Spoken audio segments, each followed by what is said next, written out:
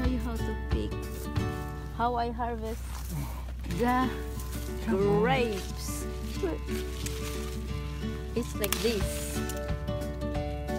I have gloves before, but it's wet already. Like that, and put in the bucket. These are the grapes for good for making cake. It again? Making cake Hey, and for making wine.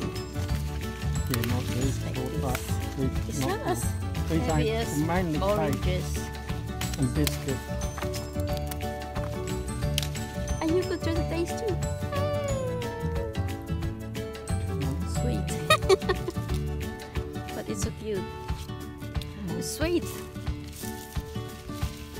I like the red grapes.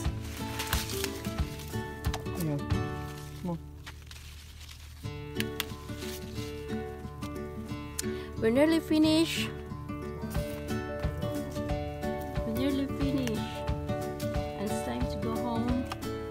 This is the last, the end of the row. Here. So we start from there.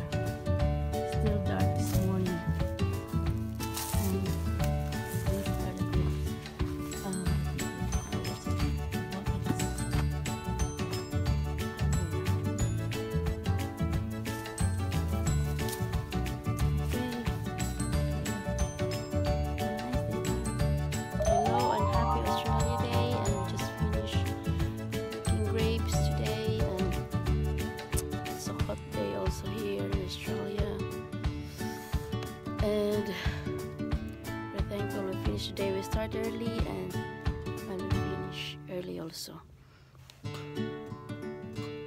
Now we're gonna count our buckets.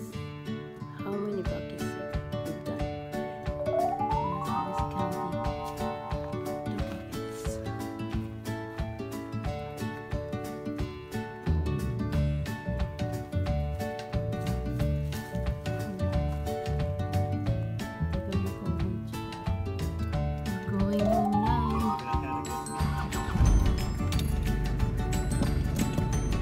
ano that one? Jesus name?